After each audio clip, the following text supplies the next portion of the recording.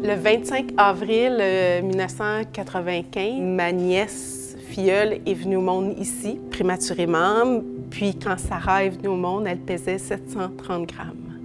Quand on voit euh, un enfant en soins néonatalité, on comprend tout ce que ça a pris de l'hôpital pour permettre à Sarah de rester en vie puis d'être en santé aujourd'hui.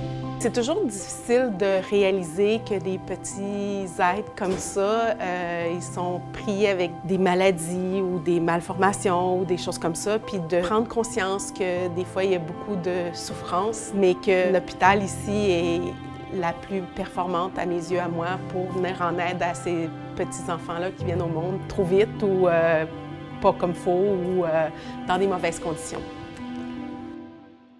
D'avoir choisi le don par assurance vie, ça m'a permis de faire un don beaucoup plus important que celui que j'aurais pu faire euh, au moment où j'ai pris cette décision-là. En désignant la Fondation de l'Hôpital Sainte-Justine comme bénéficiaire, ça a un effet multiplicateur sur les montants qui seront versés à la Fondation à mon décès. Et comme il y aura toujours des enfants, ben, je me dis que maintenant ou plus tard, c'est peut-être mieux que ce soit plus tard puis plus gros.